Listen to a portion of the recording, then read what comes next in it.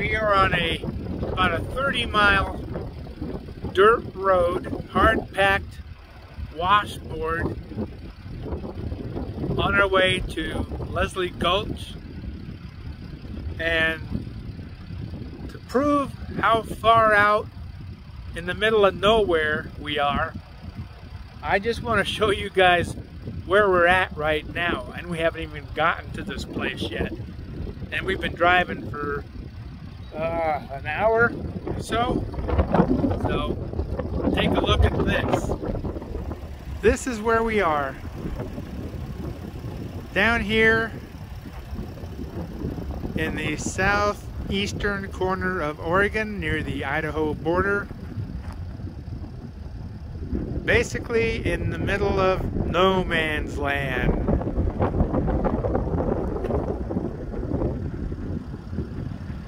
It's amazing how much of the Pacific states are totally void of anything except cattle, rattlesnakes, and coyotes. Whoa! Well, if this hasn't shaken every nut and bolt loose in my RV, I'll have to say it was a hell of a well built vehicle. I just hope going out doesn't do that. Well, we finally made it to, it looks like the top of the slope here, and we're about ready to head down into the gully. Let me walk over here to uh, where the sign is that tells you what Leslie Gulch is all about, who's it named for. Here is the sign Leslie Gulch, named for Silver City pioneer Hiram Leslie, who was killed by lightning here in 1882. These colorful formations of volcanic ash have been spectacularly carved by erosion I don't know if Kate's got her eyes closed or she's just looking out to see the sights. Sara's down here. She's just staying right next to me. Okay, well, let's uh, keep on going. It's getting narrower and narrower. Man, we are going so deep into this gully and these cliffs are starting to tower way above us like those there. It's hard to see what you want to see and still keep your eyes on the road so you don't go into the ditch or into the rocks on the other side.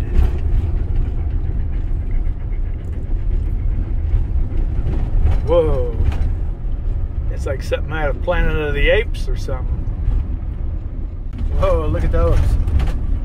Man, it's like, like being on another planet. This is awesome.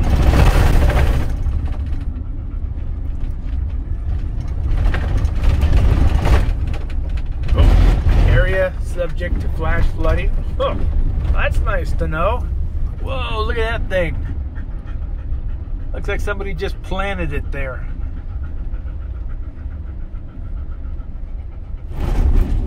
I always imagine what it must have been like for the pioneers that first came and saw these.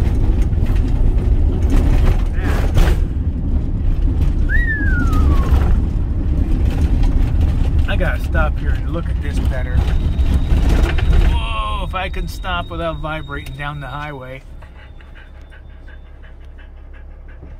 That is amazing all the pinnacles in that.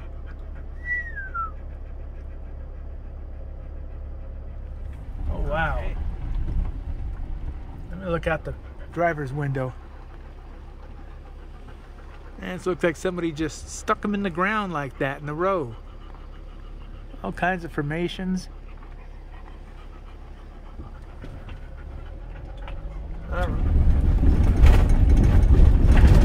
The campground might be right in the middle of these down here somewhere.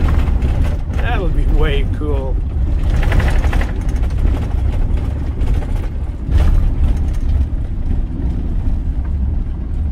Hope I can piece this all together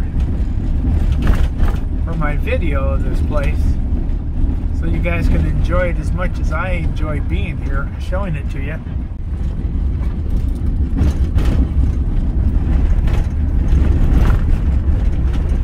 They're almost like stone monolithic monsters that somebody just stuck in the ground upright.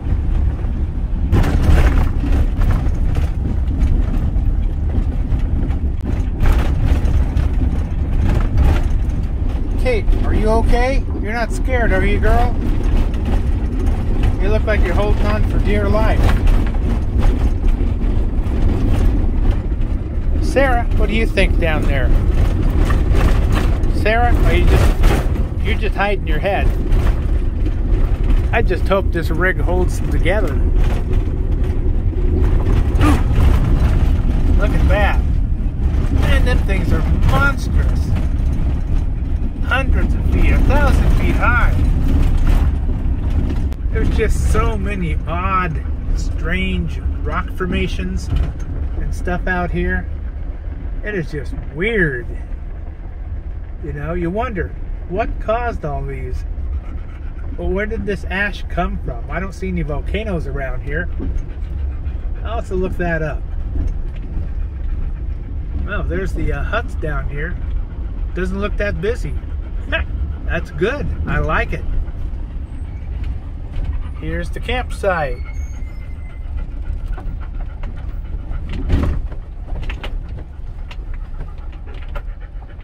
Oh, not bad. Everybody gets a shelter.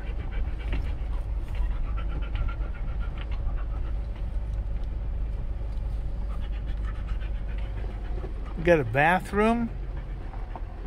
All kinds of odd things. Well, I think I'm going to take this one right up here. There's only three left, and there's another guy here pulling the one, so that leaves one left. So I'm just going to turn this thing around, back right into here. Well, we got camp set up. Got my fan going. Back open up with the bug net on. And the bed partially made so we can all lay on it and cool out in the breeze. Ooh, it turned out hot. I think I finally found the suns hiding down here in Leslie Gulch. The uh, net bag there with the avocados. What a disaster. This road was so violent that when I got back there and checked on them, I had one that had become guacamole smashed against the wall. that was a yucky mess to clean up. So I might change my mind about how that thing hanging up there, especially when I'm on insanely crazy roads like this was. Because uh, I keep hearing things going thud, thud, thud, thud. And I really can't do nothing when I'm driving. I really can't see back here.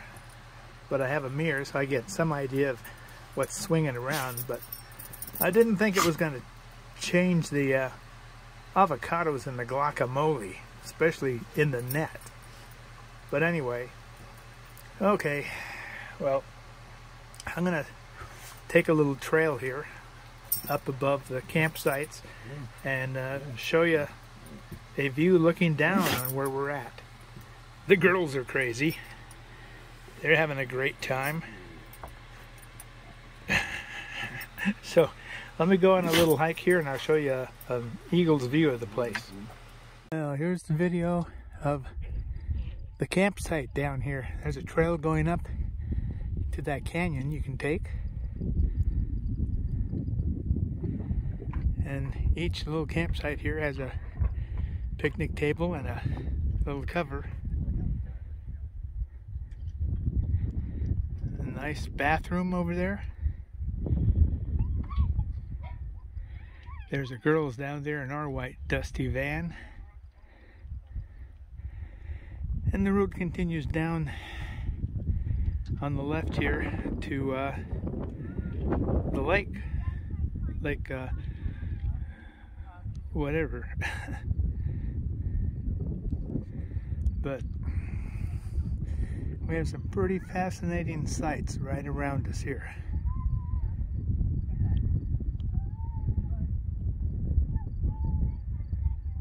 This is quite the BLM campground. Glad I made it.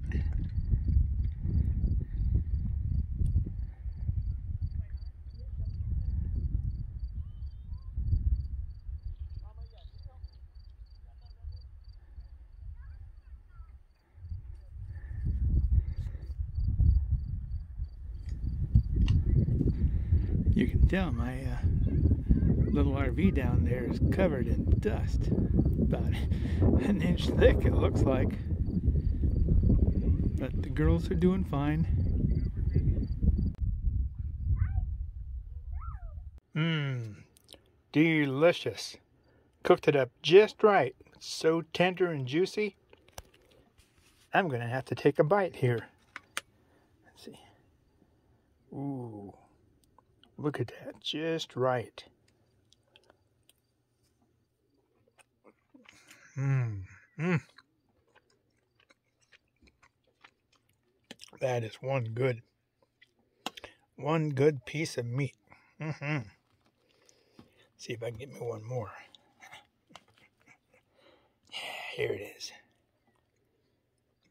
Mm. After a hard day, Oh, delicious T-bone steak is awesome. I'm going to finish it. Bye. Well, once again, I forgot when I go on these trips and I take all these dirt roads I usually go on to find these places out in the middle of nowhere, the eggs always suffer. And I did it again. I should bring my little yellow container I use for backpacking that holds eggs. I forgot it and I had another egg explosion in my small little refrigerator here.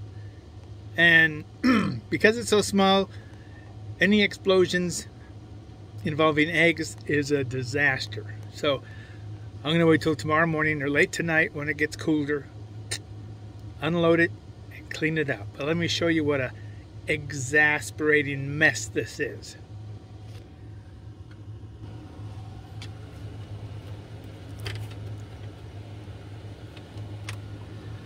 Okay, you ready? It's a horrible sight. You might want to turn away. One, one dead egg, two dead eggs, three dead eggs. There's a survivor. Survivor. So we got three dead eggs, maybe more.